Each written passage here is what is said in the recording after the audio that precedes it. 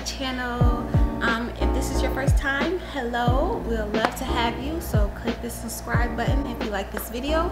Um, today I will be showing you fall and winter lookbook, boot lookbook, um, fall and winter boots. There we go. Fall and winter boots that I personally love. Um, a lot of these boots I had over a couple of years and they keep coming back in stores because they're that popular I guess. Um, so I'm going to show you guys all the links to the boots that will be in this video will be down below. All these boots are under $40 so that's a plus. and yeah I hope you guys like this video. Like and comment if you do. Um, what else do I have to say?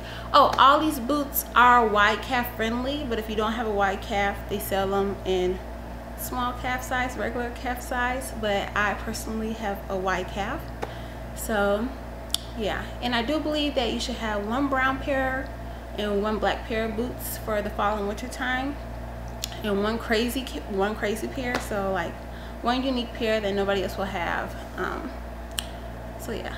Enough talking. Let's get started. I would like to get to know